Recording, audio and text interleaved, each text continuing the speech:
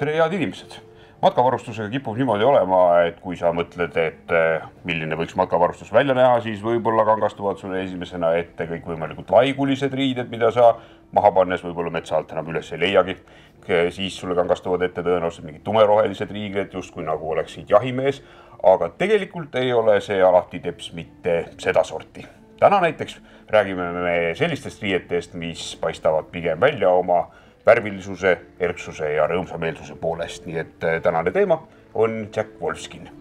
aga enne kui me selle teemaga edasi liigume, räägi näiteks ära, missugune bränd see Jack Wolfskin üldse on? jah, Jack Wolfskin on siis Saksa bränd, ta on juba tegutsenud äh, nelikümmend aastat. Äh, siis nad on juba saanud siis matkavarustuse liidriks, varustuse liidriks juba nii Euroopas kui ka Aasias ja meie matkaspordipoodides kolmes poes on olemas ka shop-in-shop pood, mis siis tähendab, et pood poe sees. mis see siis tähendab, siis on nii, et seal poes on lihtsalt eraldi sektsiooniga justkui ühe kaubamärgi eraldi sektor? jah, nii ongi, et, et äh, oleks võimalikult äge, võimalikult palju tooteid, et äh, saab kõik ühes kohas kätte. Kelle jaoks Jack Wolfskini bränd üldse mõeldud on?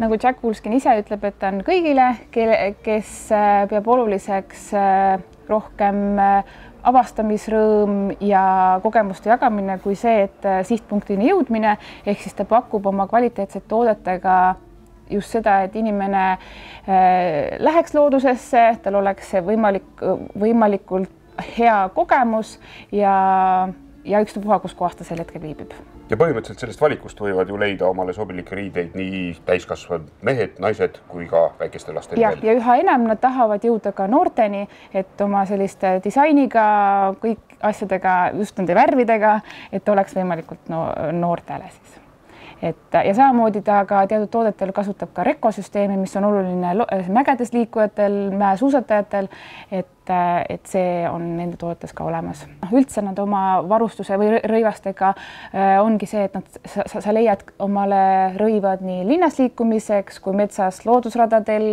kui ka mm, tõsisele matkajale ja ka üha enam rattaga sõitjatele nii, ma leidsin siit lõputust jope rivist ühe sellise põneva toote, tegemist on siis kolm üks jopega, mille jaoks need kasulikud on?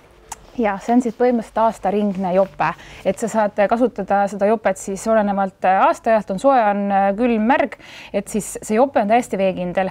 Ja samamoodi, kui see jope jääb liiga soojaks või siis ühesõnaga saad kihte ära võtta, et siin on siis Primaloft kiht, mis on siis hea soojustusega kiht. Ja siis väljaspool on hea veekindlusega kiht, et siis kui on jahe õhtu, aga kuiv, saad ainult seda kasutada ja kui on märg, mis iganes, siis saad ainult pealmist ka, ka, jopet kasutada, aga sa, samas külmas talvel sa saad nad kokku panna ja kasutada siis äh, talvejopena. ehk siis põhimõtteliselt on sul äh, selline jope, kus on kõik koos, üks jope on ju, siis ainult see pealmine kiht ja siis ainult, mida kasutada saad, on see sisemine soojakiht, on ju, mida võib samas ka panna mingisugusele jahedamal õhtul kuskile dressika alla või, või T-särgi peale ja. tõmmata ja, ja ongi. jah, ehk siis sa ostad olemas. siis kahe jope asemel, osta ühe jope ja käia või kasutada seda aastaringselt ma sain suurest seljakotiriiulist kätte endale ühe põneva eh, seljakoti, aga milliseid eh, tooteid Jack Wolfskinil veel on?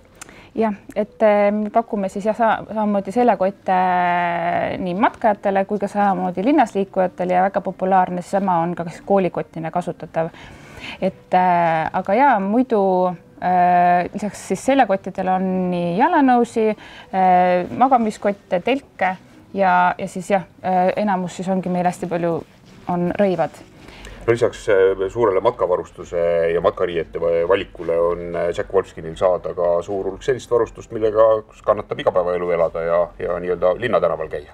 olemas on erinevaid äh, ja ilusaid ja kenasid rõivaid, nagu näiteks selline hea soe sulest mantel, mis on piisavalt pikk ja piisavalt kena igapäevaseks käimiseks või siis, kui võtta, et see jääb liiga jopeks, siis on ka vest olemas või mantliks, et äh, selline pikem vest, et mis on väga kena, väga head, ilusates värvides ja samamoodi see on nüüd siis äh, Primaloftiga, et äh, kes niiskust võib-olla kardavad või hooldust kardavad, siis sellega on võib-olla lihtsam.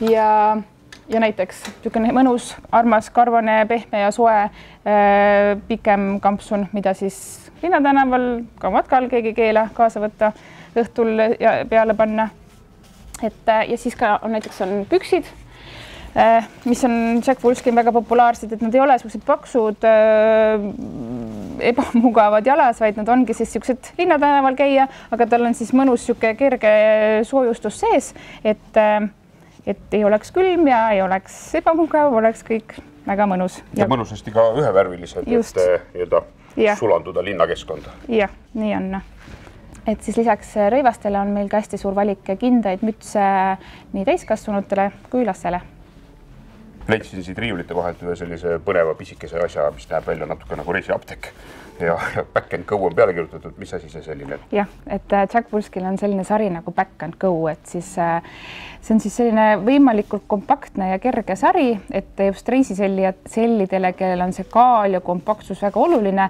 et ähm, kokku pakkides ei võta ruumi ja samamoodi kaalu, et on nii suve, suvesarjas tooteid kui siis jah, see konkreetne on siis äh, vest, et oleks võimalikult soe, aga samas kompaktne no tänapäeva maailm lähtub oma tootmises paljuski taaskasutamisest ja sellisest rohelisest lähenemisest ja jätkusuutlikkusest. kuidasmoodi Jack Wolfskin selle teemaga seotud on?